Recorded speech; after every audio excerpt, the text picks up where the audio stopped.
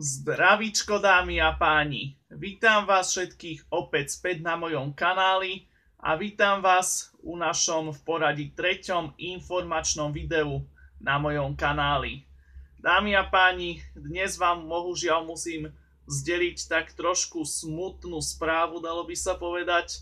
No a tou smutnou správou je, že podobne ako Formula 1 2012 a 2013 tak takisto aj Formula 1 2014 nám predčasne ako Let's Play definitívne končí. Bohužiaľ je to smutné dámy a páni, ale naozaj nedá sa nič robiť, nedá sa, ako sa hovorí, nedá sa, nedá sa klopať po stole, bohužiaľ nedá, nedá sa zvoniť. Bo je to bohužiaľ tak, že eh, Let's Play Formula 1 2014 predčasne končí a to len po, po prvých dvoch súťažných víkendoch sezóny 2014 z 19 a len po štyroch dieloch z plánovaných 22. Takže naozaj, dámy a páni, je to veľká smola, že nám to končí takto predčasne.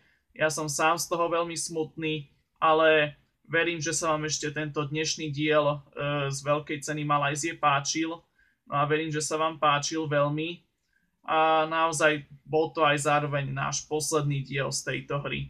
Takže naozaj, dámy a páni, dnes, dnes je to také informačno smutné video, pretože sa nám bohužiaľ predčasne končí F1 2014, lebo e, bola tam jedna chyba, ešte tú, ktorú ste aj videli naživo, v absolútnom závere videu, a to, že sa mi tá hra vypla síce sa dá spustiť, to je ešte fajn, ale už e, mi tam úplne zmizlo automatické ukladanie hry a plus ešte sa mi neuložil postup z veľkej ceny Malajzie, ktorý som urobil, teda sa mi, neu, teraz sa mi uložili výsledky kvalifikácie, ale výsledky pretekov sa mi neuložili a tým pádom musím celé preteky odštartovať úplne od začiatku a, to, a už bez autosavingu to proste není ono.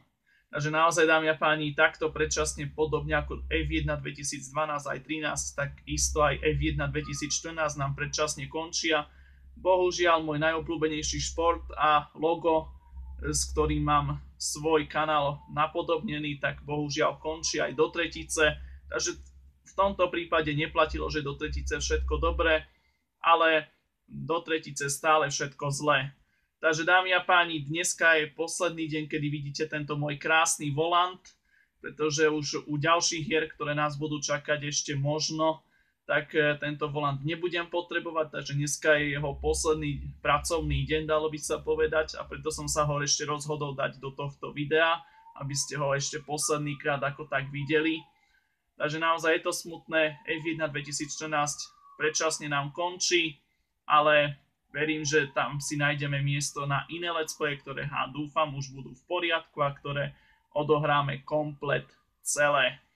No a ďalšou hrou, ktorú by som teoreticky mohol urobiť, bude asi už svoju viackrát spomínaná FIFA 14, len tam by sme to len čisto odsimulovali e, jednu sezónu 2013-2014 za jeden klubový tím. A to preto, lebo tam naozaj, tamto tak neviem, lebo som zistil, že ja tú hru absolútne neviem hrať, ani ovládanie absolútne neviem. Keby, bolo, keby bola možnosť, že nastaviť si vlastné ovládanie, tak OK, ešte to ako tak prežijem, ale toto honosne nenávidím v hrách, keď si neviete prenastaviť ovládanie hry. To ma veľmi mrzí.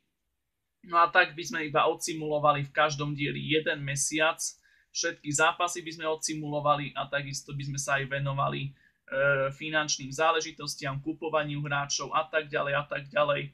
Ale to nás ešte len čaká, dámy a páni, a verím, že to príde čo najskôr. Ale dámy a páni, z tohto informačného videa to bude asi všetko. Takže asi FIFA 14 začne e, v ďalšom videu, možno ešte dneska, keď stihnem, uvidím. A potom ďalšia hra, ktorá bude nasledovať po FIFA, bude určite v júni, ako sme už spomínali, bláznivé prázdniny na pláži na to sa teším. A ešte mi tam, tuším, zostáva jedna hra, ak sa nemýlim, už neviem, ktorá presne to je, ale asi ešte aj tú hru, na ktorú teraz asi myslím, tak asi aj tá bude, ale to je veľký otáznik. Ale tieto dva hry, FIFA 14 a, a one, no, chcel som hneď povedať, FIFA 14 a bláznivé prázdniny na pláži, tie už máme isté, že budú. No a tam v týchto dvoch hrách nebudem potrebovať dokonca ani klávesnicu. No, v FIFA tak trošku áno, v niektorých prípadoch, ale v tej druhej hre bláznivé prázdniny na pláži tam žiadnu klávesnicu potrebovať nebudem, tam len čisto myšku. Takže uvidíme. Ale dámy a páni, to už je z tohto informačného smut, smutočného videa naozaj všetko. Verím, že sa vám toto video páčilo. Pokiaľ áno, nezabúdajte dávať pod video lajky a komentáre. No a budem sa na vás tešiť opäť na budúce pri ďalšom videu. Možno ešte dneska by sme teoreticky mohli zahájiť FIFA 14. Uvidíme.